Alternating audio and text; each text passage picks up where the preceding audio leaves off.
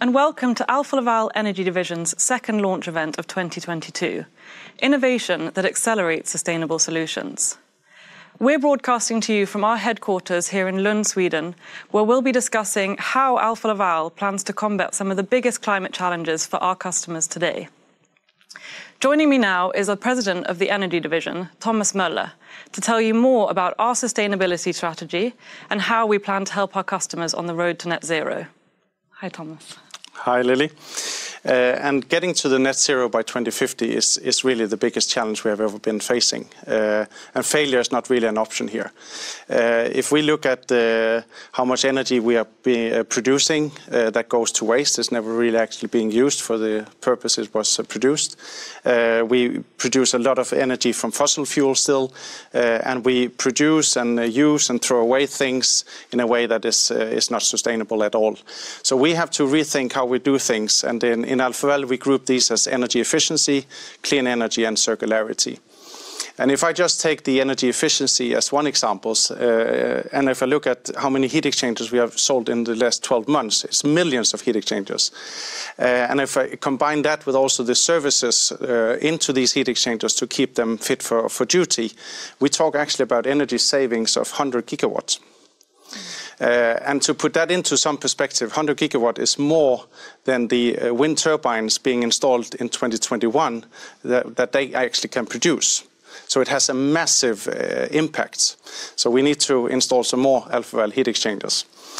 Um, and we are putting a lot of all our innovation efforts, all our investments and so on are going into these three areas. So we have a lot of things happening. And today there will be eight examples Uh, within these three areas, and I hope you will all get inspired and see how that can be contribute to your journey to net zero. Thank you. With that said, if you have any questions over the next 45 minutes, please don't hesitate to get in contact via the question feature, and our experts will get back to you as soon as possible. And with that, let's dive into our first segment on energy efficiency.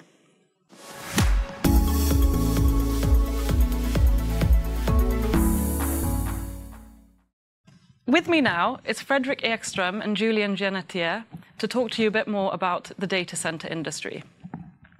Hi, both, and thank you for coming. Thank you for having us. So, Fredrik, just to start off, could you tell us a little bit about how the data center industry is changing with growing digitalization?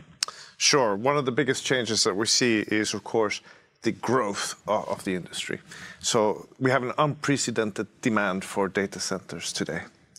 In fact, what we're doing today is going to double up many times over the next period of time, and that's to be able to satiate our demand of artificial intelligence, storage, cloud computing, black, blockchain architectures, and so on, and streaming nonetheless, as we're doing today.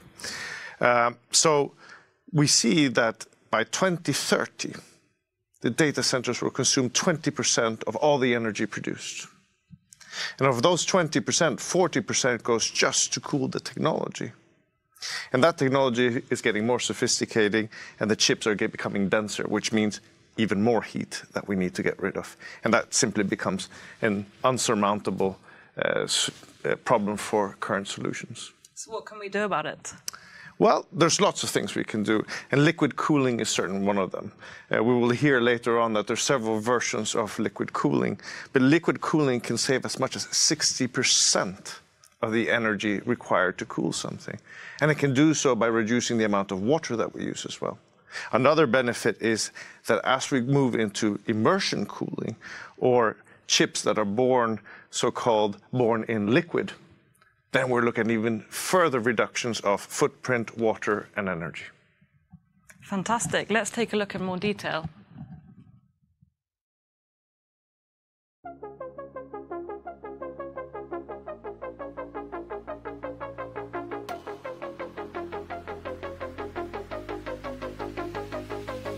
We have been leading in heat transfer technologies for more than 80 years.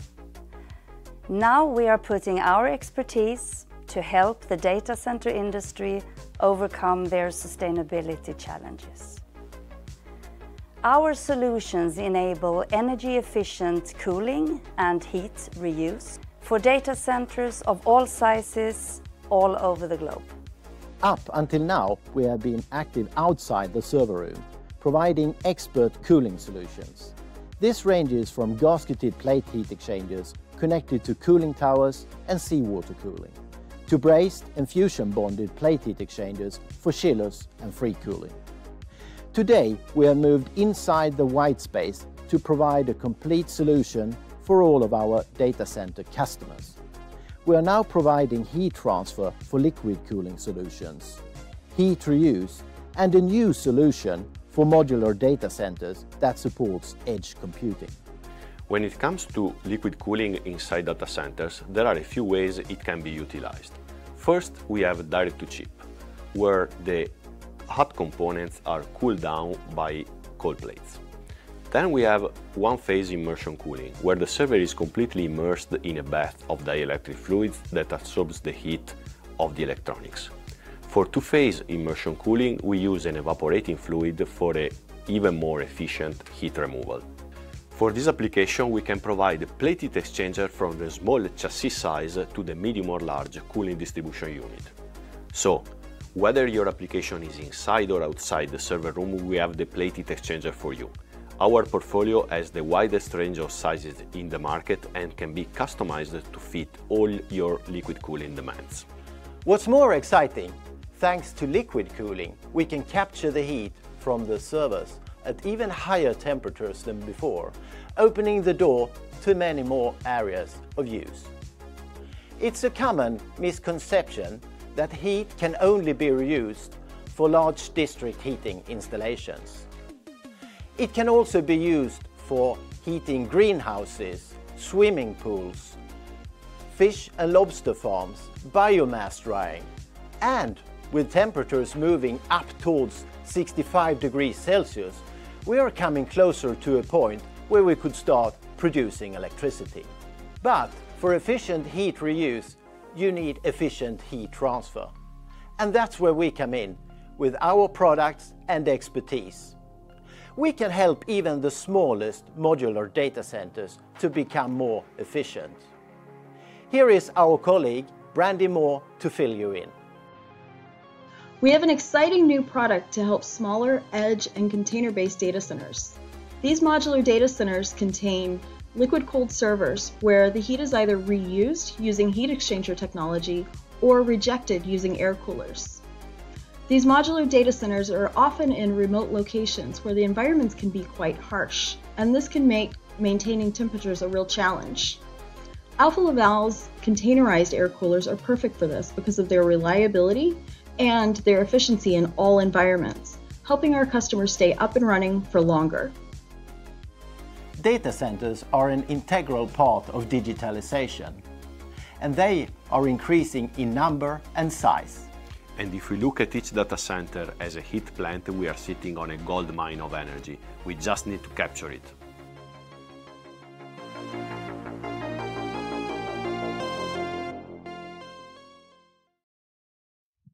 So, Julian, what is it about this new range of products that helps make Alfa Laval set apart as a supplier?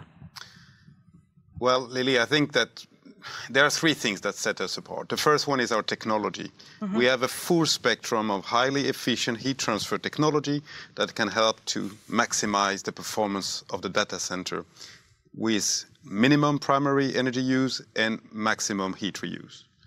The second thing is the competence of our team that we have seen. They have developed a true solution-oriented approach, developed the best solution for our customers for the installation and the maintenance of their equipment throughout the lifetime.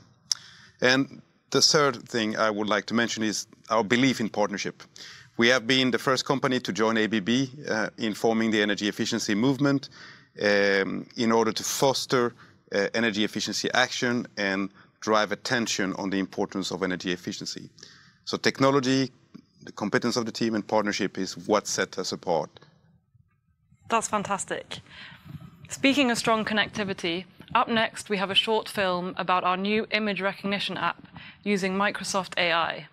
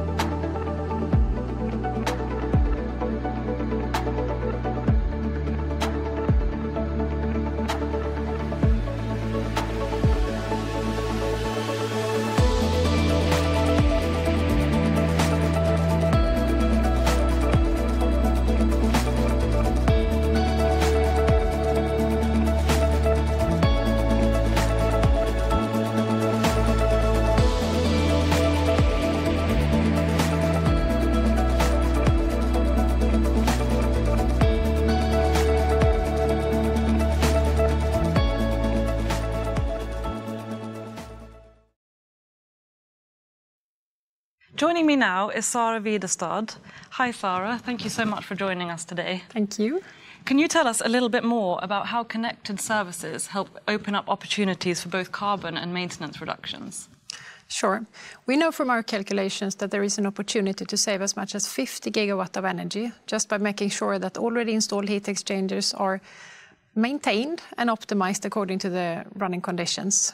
And as you saw in the video, Uh, our teams have developed this app together with Microsoft. It's a free and simple solution, and we will launch it soon, and it's for thermal image recognition. Uh, later this fall, you can also expect a connectivity solution for heat exchangers that will enable us to take the next step in performance monitoring and optimization. How exciting. We'll have to look out for that. Next up, we have a short video about our new range of hybrid air coolers that help work with nature for more sustainable results.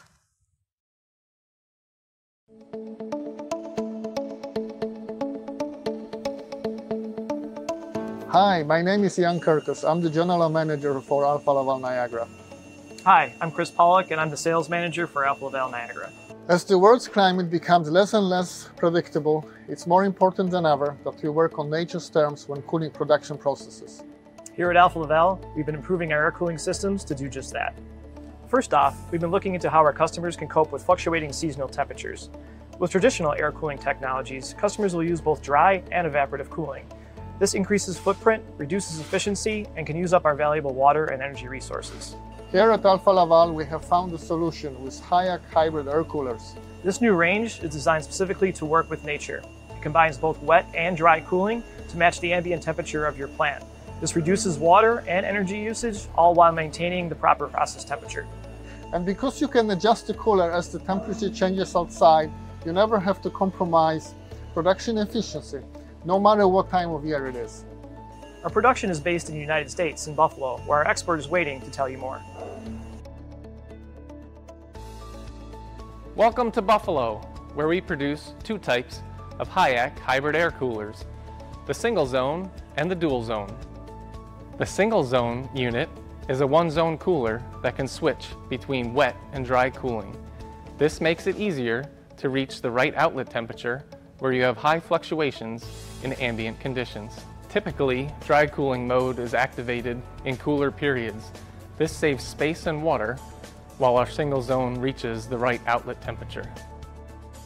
Our dual zone has two different cooling zones. The first is a traditional air-cooled heat exchanger. The second, an evaporative cooler, which adds to your overall cooling capacity. This design works best with hotter process inlet temperatures. It helps save water and energy while also providing plume abatement in the evaporative zone. So whatever application you run, we have the HIAC hybrid air cooler for you.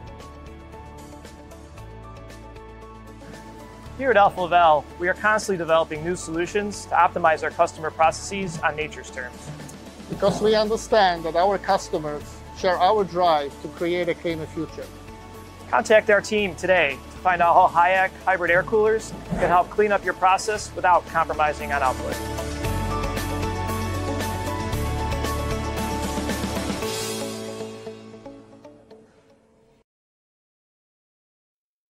Joining me now, all the way from the US, is Brandy Moore. Hi, Brandy, and thank you for joining us today. Hi, Lily. Thank you so much. First off, why air cooling? Well, very often we're dealing with low grade or low temperature heat where heat recovery just really isn't an option. And so in these cases, air cooling is a great alternative to help keeping our customers' processes running efficiently. Great. So what is it about hybrid air cooling that makes it energy efficient? Our Alfa Laval HIAC air coolers use a single stream of air to cool both dry and wet and this leads to significant energy and water savings. This innovation provides uh, low process outlet temperatures that are commonly seen with evaporative cooling, but it does so in a much more environmentally friendly way. And in fact, we can even run without any cooling water in certain ambient conditions. With the Alfa Laval HIAC, our team has found a truly unique solution, and I'm very proud of them. That's amazing. So, so what is it about Alfa Laval that sets it apart from other brands? Well, Lily, that's really easy. Our combined solution replaces traditional solutions that require multiple separate heat exchanger technologies. And when you combine those solutions, our final uh, product lasts longer, has a smaller footprint, and it's less expensive to operate when compared to running multiple pieces of cooling equipment. Fantastic. Thank you so much, Brandy. Up next, Julian is back to tell us one of Alfa, about one of Alfa Laval's newest initiatives.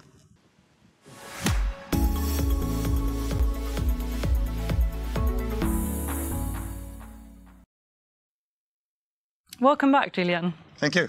Can you tell us a little bit about what it is that motivated this new initiative? Sure, Lily. Well, we have already insisted in this forum on the importance of energy efficiency in the race to net zero. We've also mentioned that the technology are available and ready to be used. So the question is, why aren't they implemented or why aren't they implemented faster? So what can we do about it? Well, of course, we could call for more regulation, more policies, more supportive uh, schemes or incentive, but usually those are too slow or not really fitted for the purpose of the specific installation and plant. So instead, we have decided to take energy efficiency in our own hands and started to train our own teams and people in order to identify together with our customer energy efficiency opportunities and waste heat recovery opportunities. Thank you. Let's take a look at this next clip to find out more.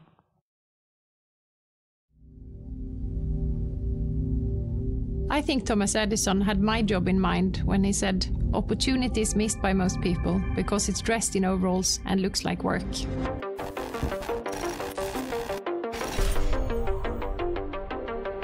If I were to keep it real simple, I would say that there are two big challenges. The world needs more and more energy, and at the same time, we need to reach net zero emissions. And to have a fighting chance, we need to work this problem from every conceivable angle. One big part of the solution will be the switch to new technologies and clean energy sources. But it's equally important to look at what we can do with existing systems and solutions. In heat transfer, we already have the technology and solutions we need to make these changes. We don't need to reinvent the wheel. We just need to make it run smoother. It's about making sure that existing heat exchangers are clean and correctly configured and update those that are inefficient and outdated. And we have found that there is almost always room for improvement. It's in the details. We might change the cleaning and maintenance program or update the plate configurations, or we might find ways to recover heat more efficiently. It's not rocket science, and it's something we've been doing for almost a century. But the results are impressive, leading to big savings both in terms of cost and energy use. The challenge, though, is to figure out what works best for every specific use case and help to realize these savings. To help with this, we've developed a calculator where it's easy to input a system's current configuration and then get suggestions for potential tweaks and upgrades. Case by case, the energy saving will be impressive, but the real impact comes from doing this at scale. There are a lot of sub-optimized heat exchangers around the world, and our goal is to get to each and every one of them. Our first step is to educate our Alfa Laval colleagues in our new calculator so we can help to hunt for waste energy. We will also make the tool available for everyone because we believe that this can increase the understanding of one of our greatest opportunities. This isn't distant futuristic tech. It's greasing the chains and changing the tires. But that's what makes it exciting because it's right there, we know that it works, and we can do it today. My name is Sarah, my name is Jenny. I'm an energy hunter. Joining me now to kickstart the next segment on clean energy is Joe Van Horen. Hi, Joe. Thank Hi. you for coming. Hi, lady. And with us via link, we have Julia Sauder. Hi, Julia, and thank you for joining all the way from the US. Hello, thank you so much for the invitation. No problem. So just to start with, Joe, can you just tell us a little bit more about how long duration energy storage helps create a more clean future? Well, renewable sources like wind and solar are without any doubt the most clean energy resources we have.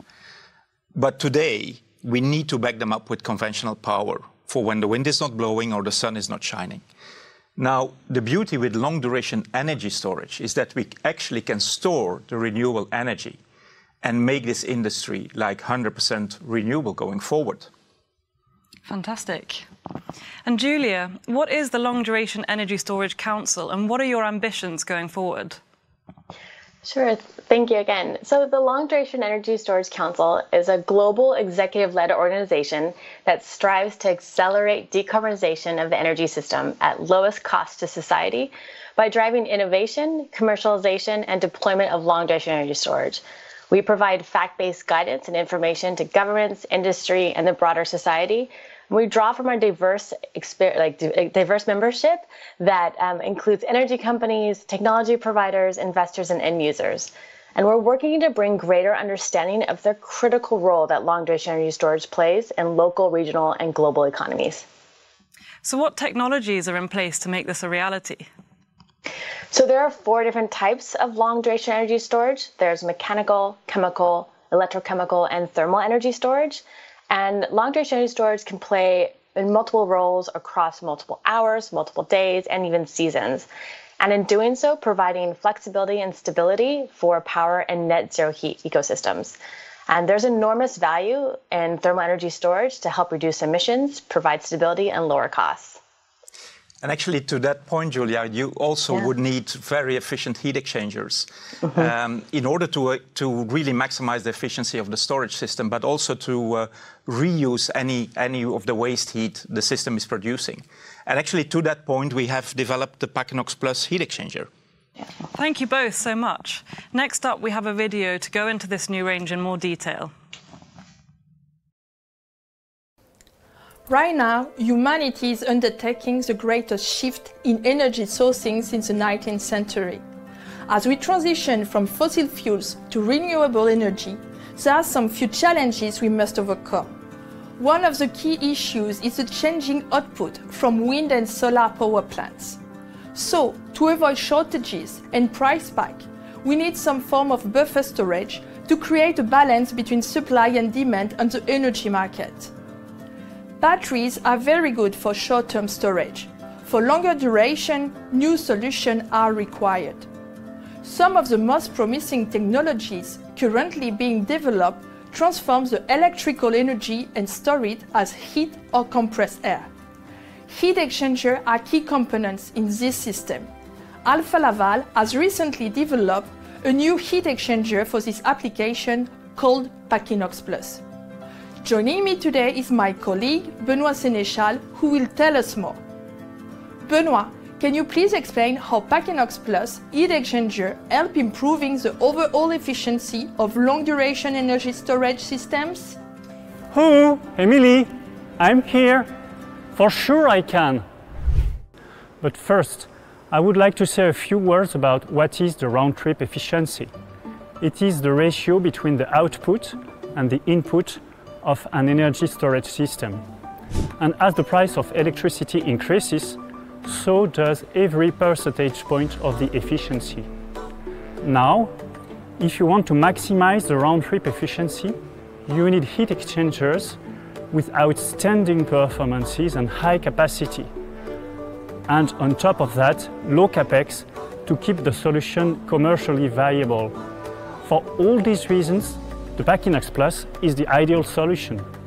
It combines in the same heat exchanger high performance corrugated channels and true countercurrent configuration, which leads to half the heat transfer area which would be required for the shell and tube solution. It makes a huge capex difference when you require tens and hundreds of thousands square meters, and even more when the material requested is stainless steel. And since the Packinox heat exchanger can reach up to 20,000 square meters in a single heat exchanger, it reduces the number of equipments and the installation cost.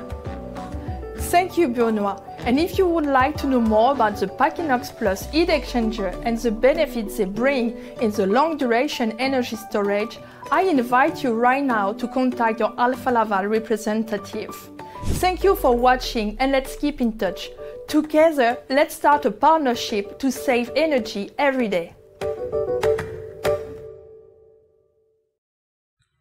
Another key concept when we talk about green, clean energy is the hydrogen production, green hydrogen production specifically. And joining me now is Karin Forsberg to talk about exactly that. Hi, Karin, and thank you so much for joining us. Hi, Lily. Thanks for having me. Just to start off, can you just tell us how green hydrogen is produced? Yes, I'd love to. So uh, basically, green hydrogen is uh, produced by electrolysis of water. So what you need is electricity, green electricity, and water. And the output is green hydrogen and a lot of waste heat. And waste heat that actually has to be cooled off. And so how can we contribute to Alfa Laval? Okay, firstly, actually by producing the demineralized water needed uh, as the feed for the electrolyzer. Water is actually the raw material for green hydrogen, and uh, that is very often forgotten in the discussions, but it's huge amount consumed. And secondly, actually contributing with the cooler of uh, the electrolyzer, actually taking that waste heat and using that for the production of the high quality demineralized water. So it's a fantastic combination of producing the raw material and reusing the heat. Oh, fantastic. Next up, we have a short video to explain in more detail. In order to reach net zero scenario by 2050, we need to turn away fossil fuels.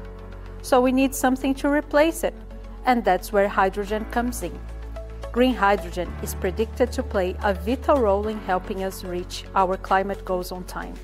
So we need to make sure that our green hydrogen production are as efficient as sustainable as possible. Hi, my name is Luciana Mendes and I'm a business developer at Alfa Laval. And when we talk about green hydrogen, water is a key element. But as you know, water is a scarce resource and cannot be taken for granted. Already in 2030, we'll have at least 90 gigawatts of electrolyzer installed globally, which also means that we need at least half million cubic meter of water per water per day. You might be wondering if this is a lot or not. Well, this is equivalent of how much a city like Rome consumes per day. So when we talk about green hydrogen process, another key element is the heat. Between 20 to 40% of the electrolyzer capacity becomes waste heat. So how can we make use of this heat? So today, a typical electrolyzer works between 50 to 80 degrees, which is very low grade heat and difficult to use for other applications. So we were thinking, why not to use this waste heat to generate the right water quality? So by using Alfa Laval freshwater generator, we do two processes at the same time. We cool down the electrolyzer at the same time that we generate the right water quality.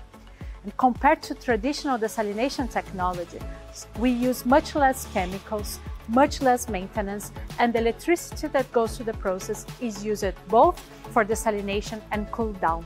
And by doing this, we increase the overall efficiency of the process. Our freshwater generator has the smallest footprint on the market, making it perfect to be used offshore or when fresh water is scarce. So if you choose Alfa Laval freshwater generator, you get a reliable and proven solution with more than half centering the market that will help all of us to create a more sustainable future. It's time to change to tomorrow's solutions today. That brings us to our third and final segment on circularity. With me now is Henrik Bjerstedt. Hi, Henrik. Thank you so much for being here. Thank you. Um, just wanted to ask, could you tell us a little bit about how Laval Moatti filters help contribute towards circularity? Of course. Currently, there are no technical solutions available to replace the engines where the Moatti filters are fitted. So we're doing our best to reduce the environmental footprint uh, of existing technology until there is a second generation that can take over. By installing one uh, Alfa Laval Moatti lube oil filter, we can eliminate the use of hundreds, if not up to a thousand, single-use cartridge filters. And also by doing that, you eliminate the waste stream of hazardous waste associated with those cartridges. Wow, that's incredible. So how can we support an engine maker who shares our drive for sustainable solutions? First of all, we customize a filter to the specific engine needs and the filtration required. And in addition to that, we can take care of the lifetime service of that filter through a rebuild or remanufacturing process that match the intervals of that specific en uh, engine. And by doing so, we maximize the, the, the lifetime of the filter and the reuse of components while minimizing the downtime, maintenance, and consumption of parts. Fantastic. Let's find out more. Hello, I'm Maxime Decazotte and I'm a product manager at Alfa Laval. Let me introduce you to the new Alfa Laval Moatti 180 range of self-cleaning filters for lubrication oil in large diesel engines. These filters are incredibly tough, efficient and extremely reliable. Exactly what you need for your critical production machinery and what you expect from Alfa Laval. Continuously self-cleaning automatic filters are the state-of-the-art solution to protect your engine from contaminants and debris and extend the operating life of your lubrication oil. They keep your engine running smoothly minimizing the risk of unplanned downtime. By design, the maintenance schedule of your automatic filter is seamlessly coordinated with that of your engine, so your operation stops only when you plan it to. Our self-cleaning filters offer a sustainable alternative to traditional cartridge filters. Thanks to a system lifetime equal to that of the engine, raw material use and waste is minimized. Replacing cartridge filters with an Alfa Laval Moatti self-cleaning filter also eliminates a vast hazardous waste stream, while it also takes out hours of dangerous and unnecessary maintenance work. There are many types of automatic filters, but this range really stands out. The filter media of an Alfa Laval Moatti 180 is continuously backflushed. Unlike sequential systems, this prevents even temporary accumulation of pollutants. And thanks to our Atrium 2.0 technology, the pressure drop during operation is consistently kept to a minimum. So if you're looking for a filter that protects your engine, extends the life of your oil, and promotes efficient, sustainable and safe operation, this is the one you need. But it isn't just the filter itself that sets the Alfa Laval Moatti range apart. Our service offer was created for circularity, which is good for the earth and for your wallet. I'm Ricard Johansson, I'm a global sales manager at Alfa Laval, and I'd like to tell you about the unique service concept we offer for all Moatti filters. It's simple. Alfa Laval takes full responsibility for the care, the maintenance and the flawless functioning of our filters throughout the entire lifetime of your engine. The Moatti filter does not need a regular maintenance schedule. It can be remanufactured or rebuilt when your engine requires it. During the scheduled remanufacturing of your engine, you will simply replace the used filter from a pool of rebuilt filters designed to fit your engine. Our rebuild service will disassemble the used filter, clean and test the individual parts, and restore each component to perfect performance. The rebuild filter will then be returned to your stock ready to be installed during your next scheduled maintenance. For applications with multiple machines and engines, rather than rebuilding a single filter, we restore common components and filter elements. They can then be used to rebuild a wide range of self-cleaning filters. Our rebuild surface is focused on circularity, and we are dedicated to break the take, make, waste cycle. We don't just provide filters, we provide efficiency, sustainability, and peace of mind. Back with me now is Karin, and joining us in the studio is Per Anders Enkvist. Hi, and thank you both for coming. Thank you. Just to start off with, Per Anders, as one of the leading experts on the subject, can you tell us why recycling is so important? Well, materials production and incineration globally is about 20 to 25 percent of all greenhouse gas emissions. Um, so if we are going to have any chance of reaching net zero emissions as, uh, as we're rightly targeting, uh, we have to do something about materials production and, and incineration. And, and, and if you start to look at that area, um, uh, recirculation and recycling is the obvious uh, first place to look because most recycled materials are 80 or 90 percent more carbon efficient than primary materials. Um, it is an essential area, and, uh, you can almost say that so far a lot of environmental work has focused on just the energy transition, and that's a great place to start. But we actually also need the materials transition. So, how do you see the recycling industry developing going forward? I think they have a long but very exciting journey ahead of them. Um, so um, uh, if I make it a little bit black and white, uh, the recycling industry today is largely a sort of a collection and sorting industry. Uh, and where they need to go now is that they need to keep doing that, but they also need to sort of reprocess all of these materials so they can be uh, competitive against primary materials. And that's a quite big journey. So going from collection and sorting to also being a sort of a, let's call it green infrastructure industry. Fantastic. And what of these areas is the most urgent, do you think, in the race to net zero? Well, by definition, if we're going to reach net zero, we need to address all of the big material flows. But, but if I maybe highlight a few of them, I think uh, plastics is a big uh, and obvious one. Um, I think that uh, steel, uh, to take that even further, uh, I think uh, food waste, organics in general, um, batteries, um, and actually CO2 itself. Great. And Karin, how can we help here at Alfa Laval? I mean, we can help in, in several ways. And first and foremost, we would like to engage in partnerships with uh, our customers in order to innovate and develop the new processes that are needed for these material recycling flows.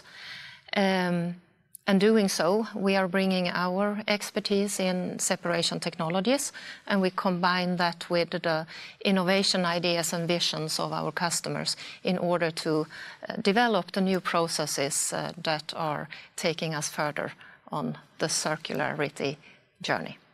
Thank you, and thank you both for coming. Up next, we have a short video to go into more detail.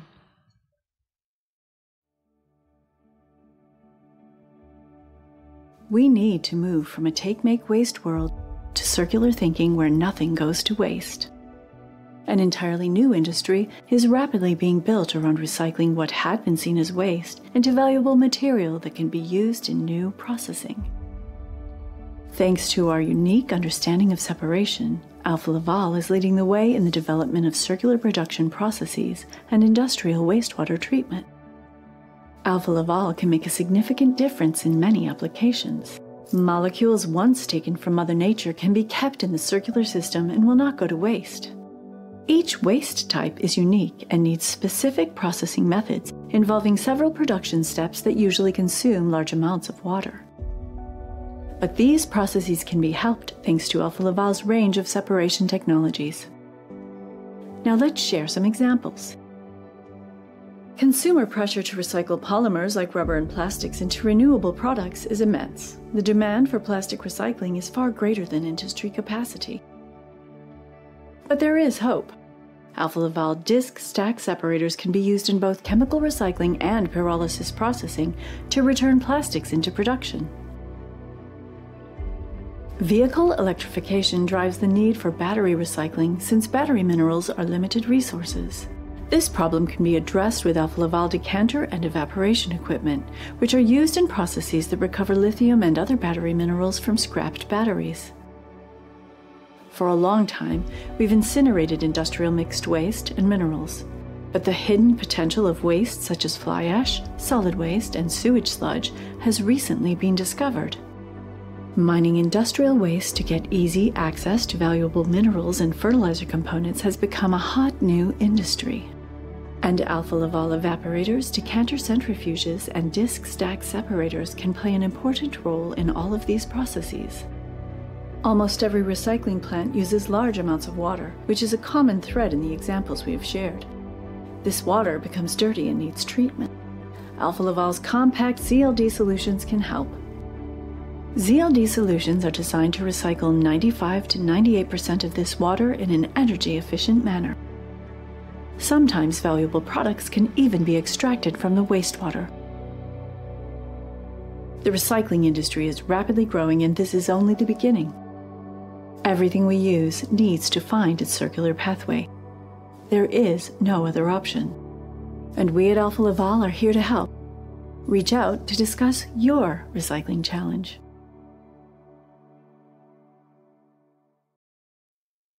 On that hopeful note, we've sadly reached the end of our time. But before you go anywhere, I'd just like to say a quick thank you to everyone who helped make this event happen, and especially to our speakers who took the time to join us today. Now, to take us out, Thomas is back with a few words of encouragement for the future. Thanks, Lily. And uh, I'm so happy with what we have seen today because I think there is a lot of talk about reaching the net zero by 2050, and uh, we're all aligned on that, but the big question is the how.